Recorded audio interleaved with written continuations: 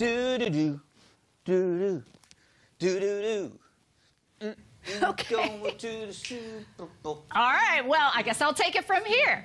So it became one of the greatest Pittsburgh sports anthems, and it was made by a fan himself from a lone keyboard in a Pittsburgh basement to the minds of all Yinzers forever.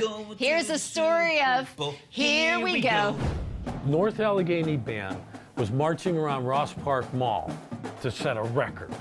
And it said in the article they played band favorites like Louie Louie, Twist and Shout, and Here We Go. And I thought, wow, to be in that group with those two songs, it sounded great. The 1980s and 90s. The number of championship rings may have been low, but the number of Steeler fans still high. And with the proliferation of home recording devices, fans were writing fight songs in mass. And the radio stations used to play them. Hey, I made up a song, I'm going to send it in. And basically, that's what I did. I sat down on the piano. The bass line came to me right away. Would go dun dun dun dun dun. And then the melody just popped right in.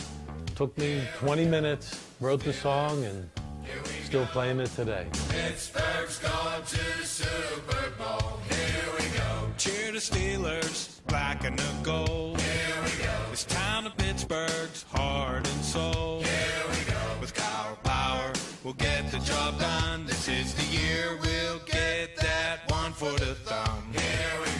Here we go. I think it has had a great impact on the fans. Here we go. It's a simple song, so everybody can get involved, whether you're young, old, whatever. You can still sing this song.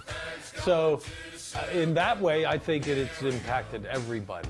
You know, I feel like I've, I've contributed something to the, you know, the Steeler fan base, and it, and it makes me feel really good about that because I feel like it's I am a, a part of this.